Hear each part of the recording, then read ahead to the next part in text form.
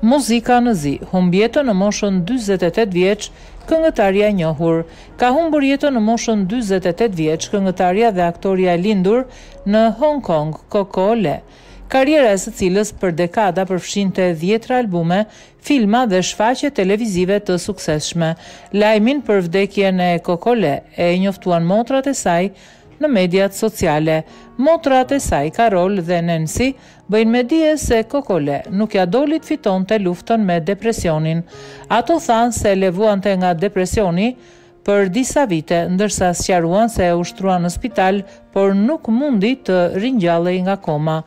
Në deklaratën e tyre, motrat shkruan se ky vit shënon Tridhjetë vjetorin e karrierës së Lee në këngë, gjatë së cilës ajo fitoi vlerësime të panumërta ndërkombëtare me këngët më të shitura dhe i ka lënë audiencës një përshtypje befasuese nga performancat e saj të shkëlqyera, Coco dihet gjithashtu se ka punuar pa u lodhur për të hapur një botë të re për këngëtarët kinezë në skenën muzikore ndërkombëtare dhe ajo bëri gjithçka për të shkëlqyer për kinezët Jemi krenarë për të, shkruan familjarët.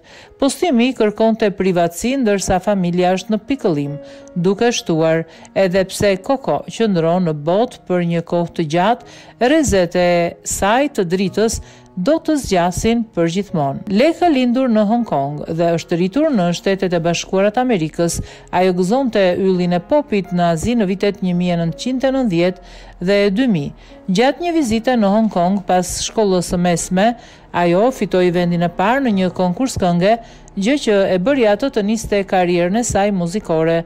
Ajo gjeti sukses në Azi gjatë viteve një mijë e nëntëqind e nëntëdhjetë me miliona shitje albumesh dhe muzikë në anglisht, mandarinë dhe kantonez.